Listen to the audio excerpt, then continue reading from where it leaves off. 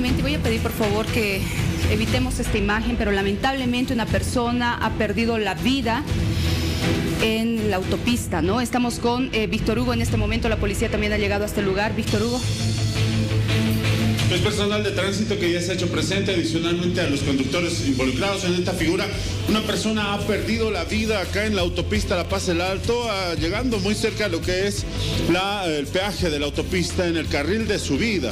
Es una persona de sexo masculino, aproximadamente unos 25, 30 años, por lo que podemos eh, ver, ha perdido la vida de manera instantánea en este lugar, luego de que ha sufrido el impacto y posteriormente el atropello de un motorizado.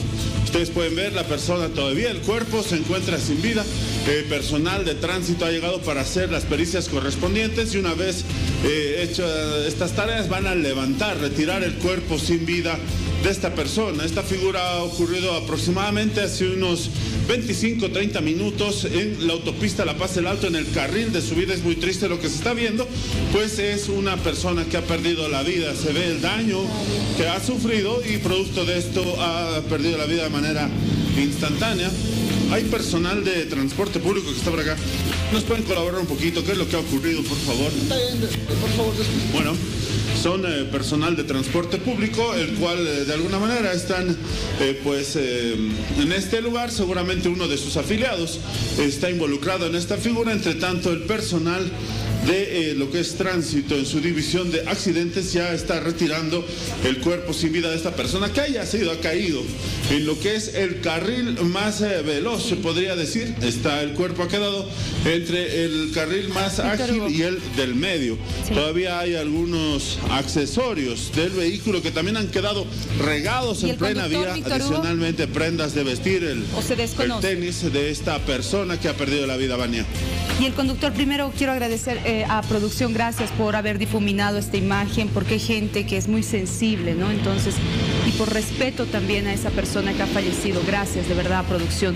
Ahora, Víctor Hugo, em, ¿qué se sabe del conductor, la persona que ha atropellado eh, a este hombre? Vamos a pedir el informe correspondiente al personal de tránsito de la acción que se ha tomado, siendo que te lo decía bien, eh, hay cuatro conductores afiliados, lo, lo decimos porque tienen el eh, uniforme de eh, transporte público.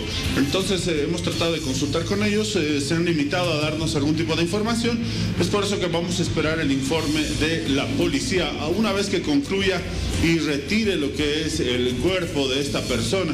Han quedado, han quedado algunos rastros eh, de masa muscular, entre otros. Es eh, muy triste lo que se está viendo también. Eh, las imágenes eh, definitivamente son impactantes, pero nosotros le estamos llevando la información.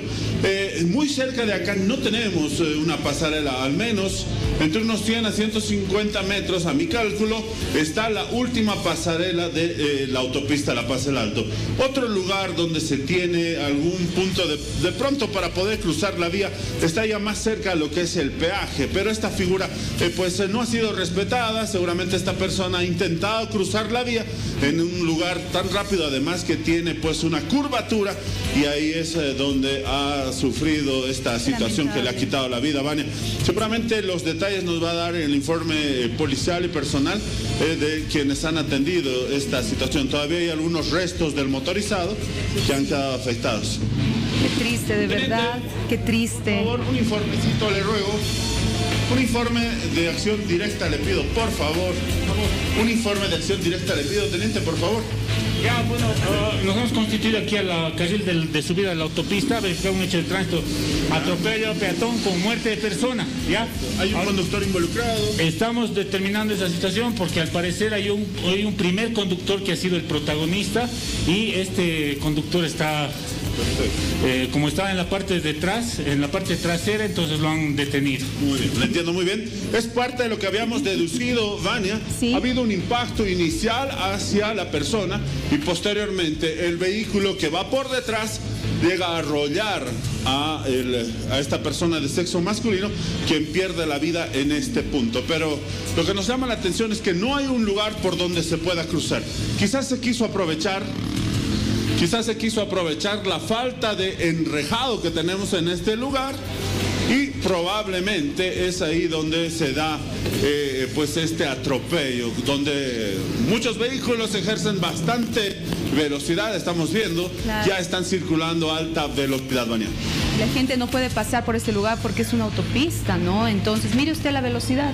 Incluso ese, ese, esos buses no deberían ir a esa velocidad, ¿no? Porque es peligroso.